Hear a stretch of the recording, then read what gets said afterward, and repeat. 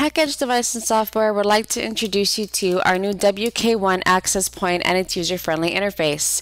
Very easy access, very easy to set up. When you first log into the dashboard, you can immediately see the setup you have for the 2.4 and the 5 gigahertz.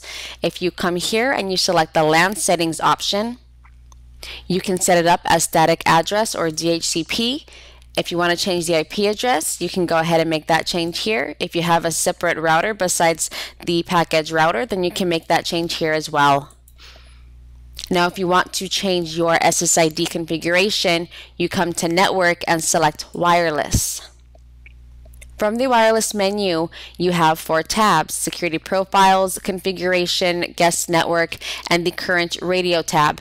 This is where you can set up your operation mode for access point, repeater, or bridge. You can set up which wireless mode you want to use depending on the devices you have on the job site.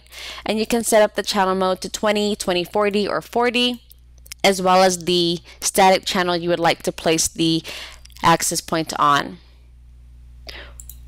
When you click on the Security Profiles tab, you now have an option for setting up multiple security profiles, which is for your encryption as well as your password setup. So when you're ready to set your SSIDs, you can apply that security profile instantly to that SSID. So if we click on configuration, you have your 2.4 gigahertz and your 5 gigahertz. When you select your SSID to change, you can change the name, you can select the security profile. Again, this is from what you created on your security profiles tab.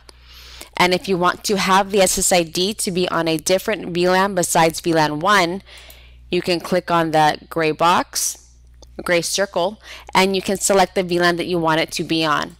Once you've made this change, you can scroll down and you can do the same to your 5 gigahertz as well, and you can select the apply button. This will set up your new SSID configuration. If you go to your guest network, this is again for your guest network setting on the user interface itself. You can set up one for the 2.4 band as well as the 5 gigahertz band, and you can make any IP changes that you prefer to make if you do not want them to be on the default setup.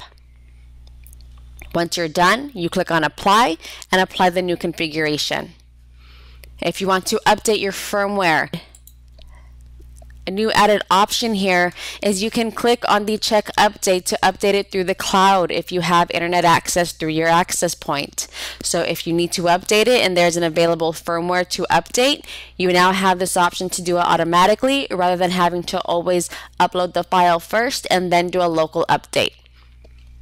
If you want to go back to your dashboard immediately, you can select this WK1 and it will take you back to your dashboard for your WK1 access point.